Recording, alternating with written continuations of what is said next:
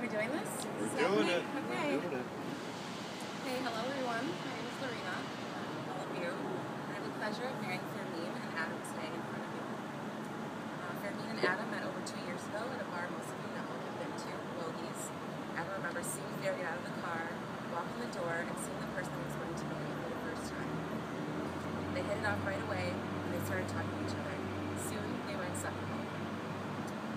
It was easy at first since Adam had almost two months off in June and July, but then when he had to go back to work, it became harder and harder.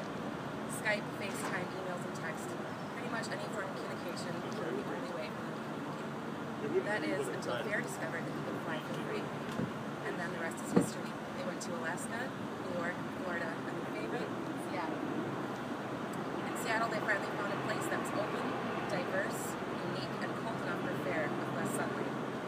is why they have chosen to hold their wedding here. Be the middle ground for both of their likes, wants, and needs. A couple of months ago, Fer and Adam traveled on Estefania at O'Hare International. On their way back, they were listening to the radio and heard something that would change their lives forever. The Defense Against Marriage Act was ruled unconstitutional. For the first time, being married was an actual possibility. Fer went to work, and so did Adam.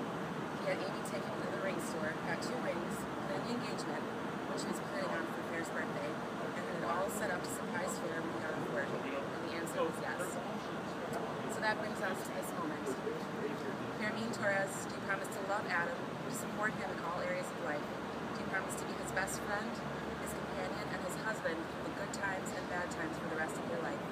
And do you promise to let him go to happy hour occasionally? If you promise, then please say, I do. Adam Kluger, do you promise to love Fer, to support him in all areas of life? Do you promise to be his best friend, his companion, and his husband through the good times and bad times for the rest of your life? And do you promise to let him go to the if you promise, then please say I do. I do. By the power vested in me, I am so proud to pronounce you husbands. You may now kiss your spouse.